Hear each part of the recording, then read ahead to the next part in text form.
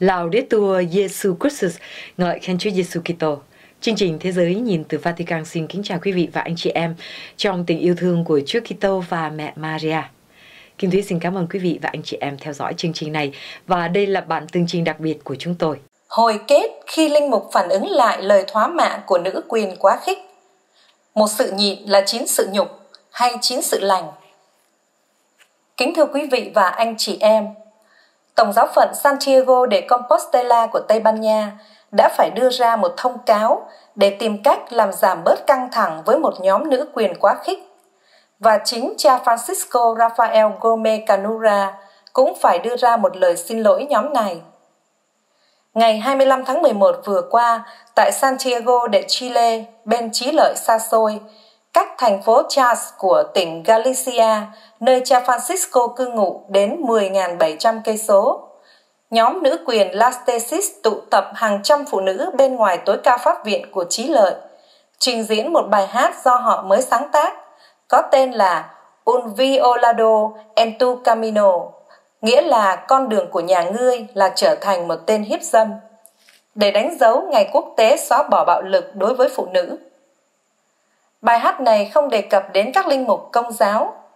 Tuy nhiên, các nhóm nữ quyền quá khích của Tây Ban Nha có khuynh hướng bài công giáo cực đoan như nhóm Colectivo Feminista de Marin đã du nhập bài hát này vào Tây Ban Nha và sửa lời lại, thêm vào câu En violado era en sacerdote, nghĩa là kẻ hiếp dâm là linh mục.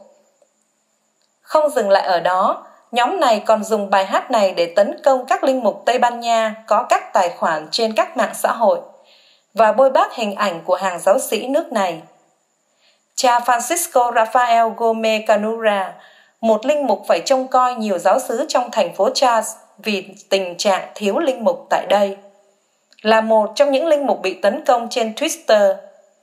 Nhóm nữ quyền này cho rằng những giáo huấn luân lý của các linh mục là một hình thức áp đặt lối sống lên tư tưởng họ và như thế là hiếp dâm.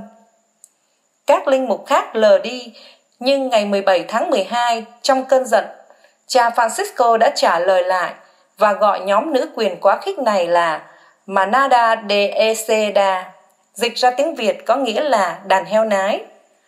Trong một tweet ngài viết, Tại sao tôi phải nhịn khi một đàn heo nái gọi tôi là kẻ hiếp dâm?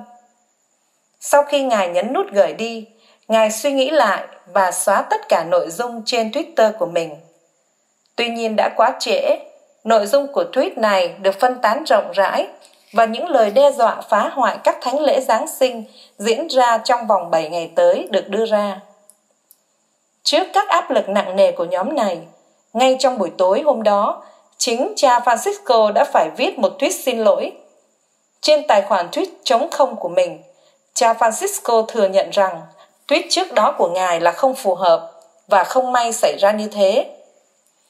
Tôi xin lỗi tất cả những người bị xúc phạm.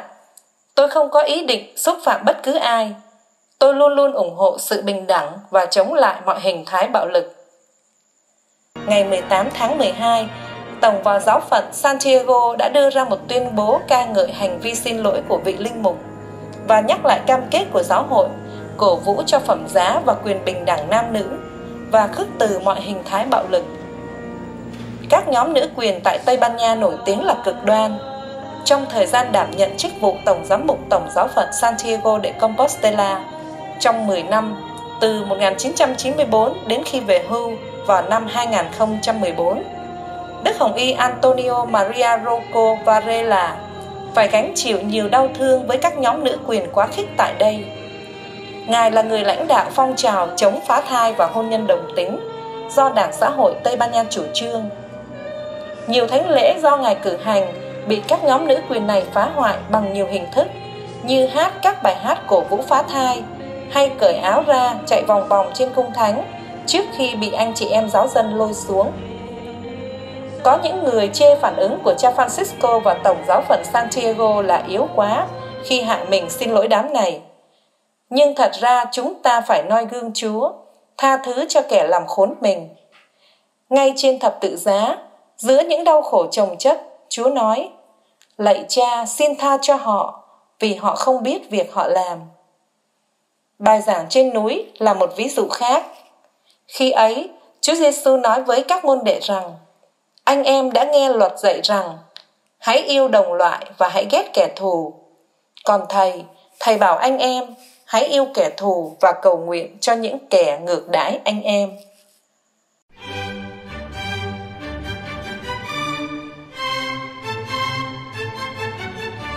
Chương trình của chúng tôi đến đây là hết. Xin quý vị và anh chị em giúp phổ biến rộng rãi chương trình này đến với gia đình, thân quyến và bạn bè xa gần như một cách thức để truyền giáo. Mọi ý kiến đóng góp xin gửi về địa chỉ tv at vietcatholic.net. Xin cảm ơn và hẹn gặp lại quý vị và anh chị em trong lần phát hình tới. Laudetur Jesu Christus, ngợi khen Chúa Giêsu Kitô.